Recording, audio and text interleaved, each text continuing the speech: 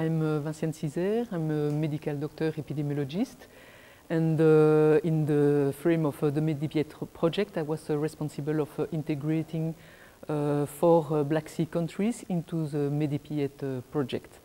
these four Black Sea countries being Armenia, Georgia, Moldova and Ukraine. This project itself was the second part of Medipiet during the first, the, the, first phase of the project, uh, the, the, countries, the Mediterranean countries contribute to elaborate uh, the core competency uh, uh to develop the curriculum of uh, Medipiet. The four Black Sea countries were not uh, involved, but since the European Union was negotiating with the country an association agreement, they expressed their will to, to open also to the EU standard in field epidemiology. I think it's important because uh, for the European Union it's important because they are also sharing a common border with the European Union like the Mediterranean countries. It's also important because uh, they, they have a, a, context that are in an environmental point of view quite similar to the Mediterranean countries. And um, so uh, uh I think uh, in all countries anyway uh, field epidemiology is important. So uh, we don't need also to duplicate program, so it was good to integrate them in the Medipiet project. Initially, it was planned to do a training need assessment in this country to see uh, if uh, they could be integrated into the Medipiet program or if we would need to develop a specific project. Um, and we were thinking eventually if they will start uh, uh the fellowship program, that it will happen only in 2017.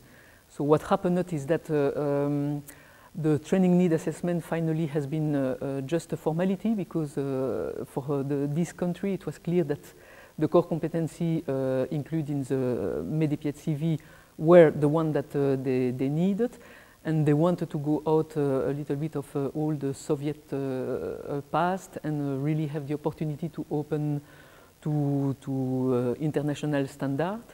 I think also there is a lot of perspective for this country to collaborate with the European Center uh, ECDC.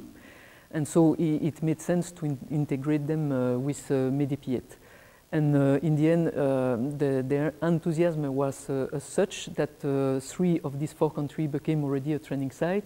And even Moldova start already a fellowship cohort. So Ukraine is a, a, very specific context because they had a lot of uh, political problem uh, lately.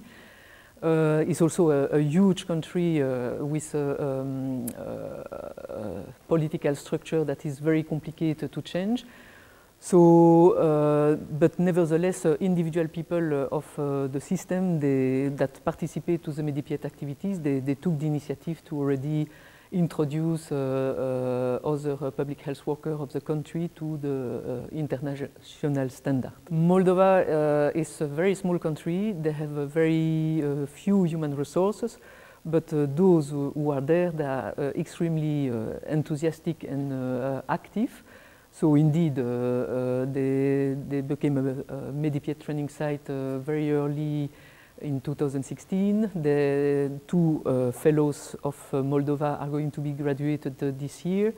And beside that, they, have, they have been very active to, to do cascade training. So I think they train already a lot of epidemiologists from regional and local level. And on the top of that, because uh, the, the training, the academic training uh, in epidemiology is a two years uh, residentship, they decide to convert somehow this two years residentship in uh, uh, FETP as we, we know uh, in the Western world. I think the network in the global work is uh, important for everyone, as much as from the EU country than from the, the non-EU countries. So the network is very important. Now the question is more um, uh, how we are going to maintain the network. So you need to, to have people that are able to link uh, and to stimulate uh, the, the contact of the, between the countries. So we know that already bilateral uh, relationship between countries are already functioning well, but now to, to uh, allow all these countries to gather together, that you need uh, uh, probably something above that could coordinate this kind of meeting that will allow this network to be maintained as dynamic as it is now. Just to be utopist, I think um, sooner or later we will need to, to create uh, an institution like uh, CDC Atlanta or ECDC uh, that we could call uh, MediCDC, for instance. I think to meet uh, uh, people involved in field epidemiology of different countries brought me a lot.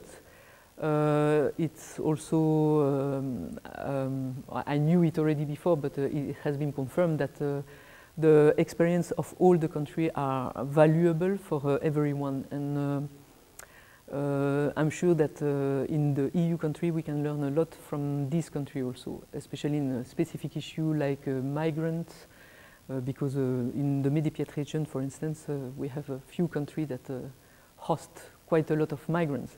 And maybe the European Union should uh, take some uh, example to be a little bit more welcome towards the migrant, for instance. I think the best moment uh, I had it was when we were visiting uh, individual country.